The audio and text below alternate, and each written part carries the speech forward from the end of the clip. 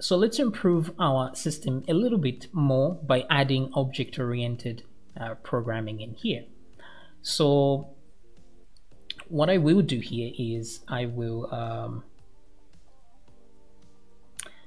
what I will do here is go to my code. Now make sure you check the link in the description because this code is there so that we are starting together. So obviously we have a functions page here and then we have a home page that we want to deal with that has these posts here loading. And then we have the posts page which has a similar system here. Uh, but what we need is the thing is uh, using queries like this uh, can be a little bit a little bit of a problem because these variables that we put here um, the variables that we put in there could be unsafe. So what we want instead, instead of having to uh, write a query when we want to load something like this, we want to abstract this query thing. So let me tell you what, uh, ex explain a little bit what I mean, or just show you what I mean. So here what I'm going to do is convert this whole thing into a class, okay? So I'm just going to go at the top here, okay, and create a class. So this first one is going to be the class database. So I'm going to call this one class database. Wait, wait, database. Like this.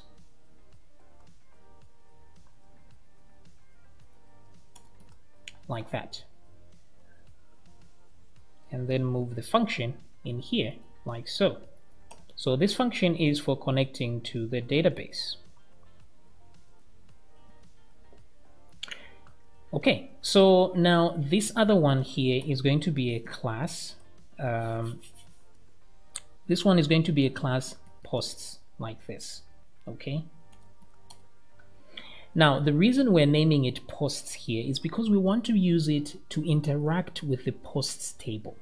So it's always a good idea to create a class for every table that you have on your system.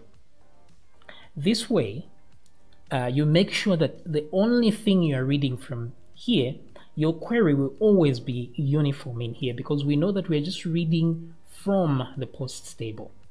So if anything comes in that tries to read from a different table, you know that there's a problem. So this is class posts, right? So what I wanted to do is I want to be able to use this function in here as if it were in here. So what I will do is to extend. So I'm just going to say extends database like so.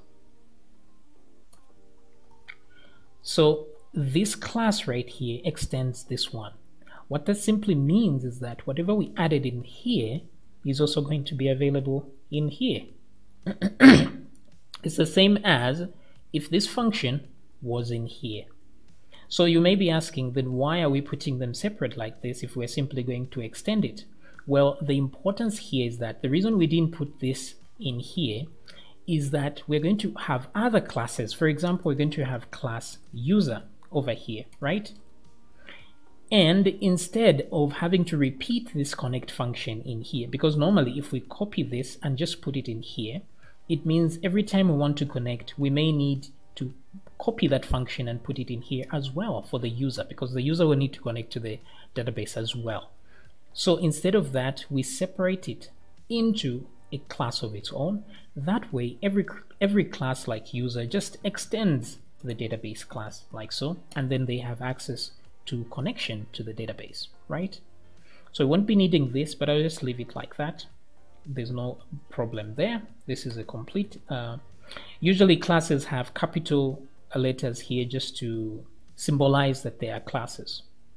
So we extend that so we can uh, read from there. Now, every time we want to read something that's a function, we want to call a function that's within here, uh, within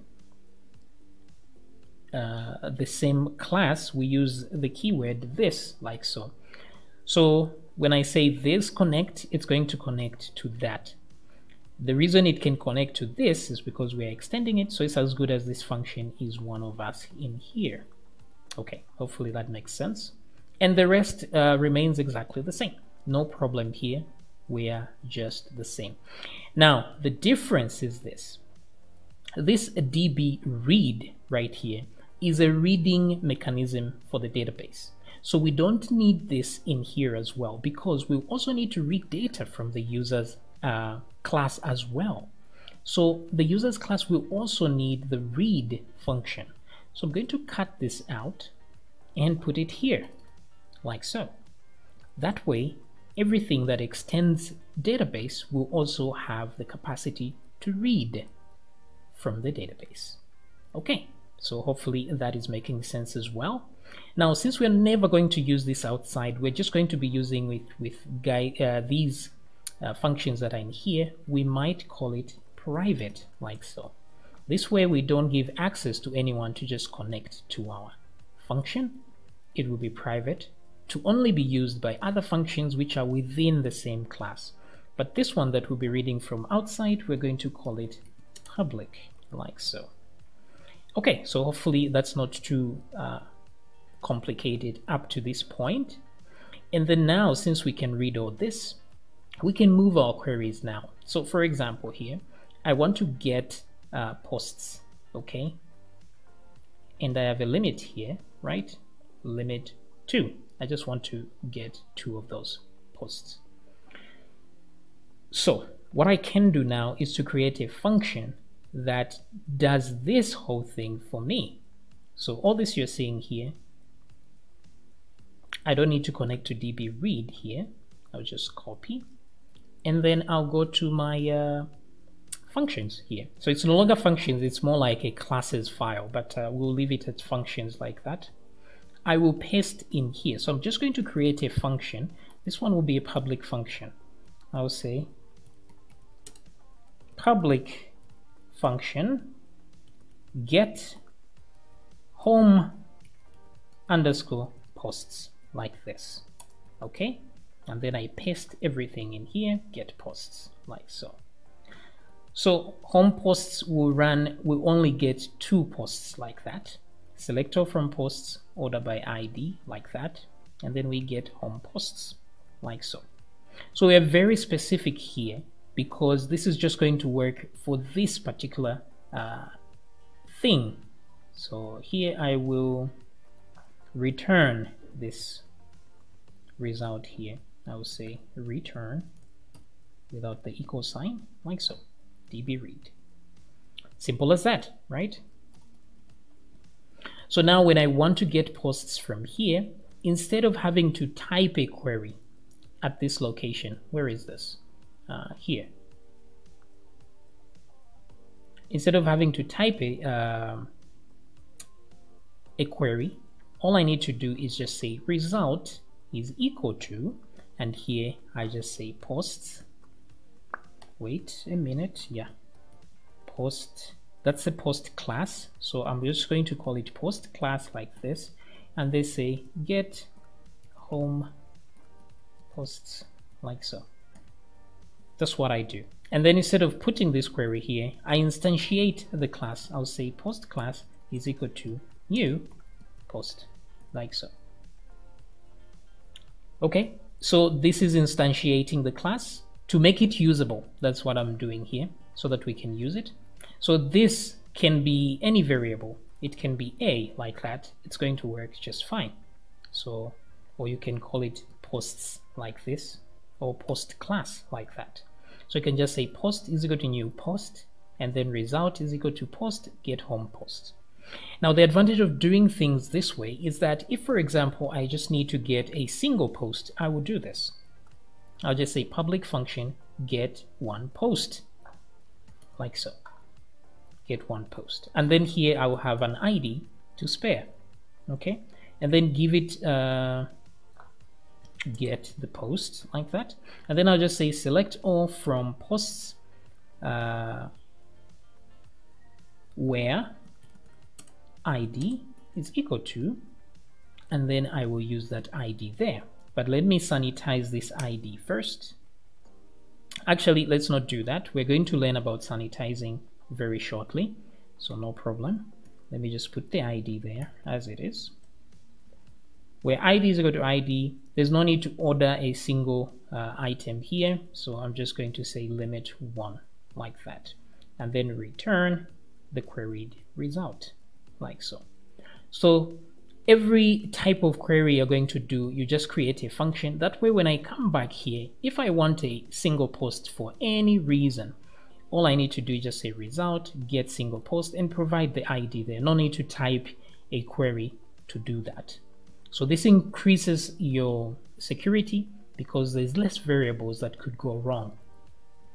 So here, once we do this, it should work just fine. So let's go back and see if there are any errors here. This is the home page. Okay, so error class post not found. So that class was not found. That's what it's saying. Well, let's go to functions and see we added an S, so that's never good. Let me remove that. It's supposed to be singular. Well, usually you can name it whatever you want, but it's always better. So it's saying code to undefined function db read. So inside uh, here db read. So every time I'm calling a function that's within here, like I said, I have to use the this keyword like that. Otherwise it will tell me it doesn't know that function. So refresh and everything is back to normal. But if we now go to posts here, we're going to get an error because those functions do not exist.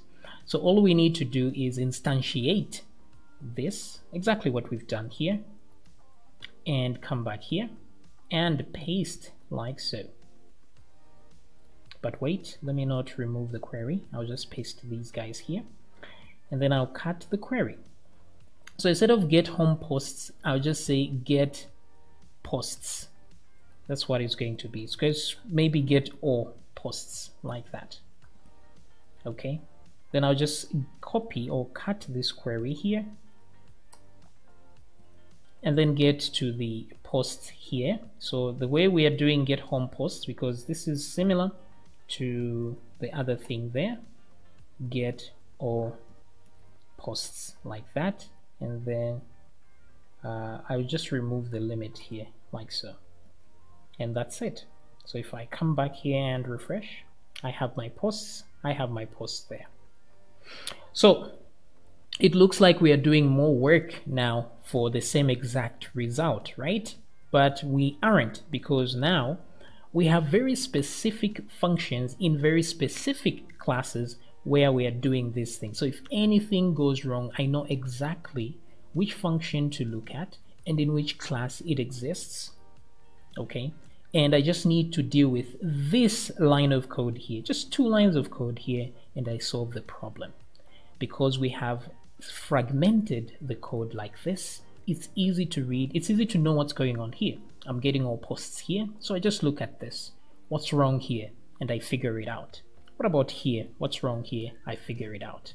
Come back here. It will tell me something wrong here. I know I have to go to this function in this class. You know, code is very simply organized here, very well organized in here to a point where it's easy to figure out where your loopholes are, uh, where the risk is, and if there's a risk somewhere, you can close it down rather quickly. Okay, so hopefully you have learned something here.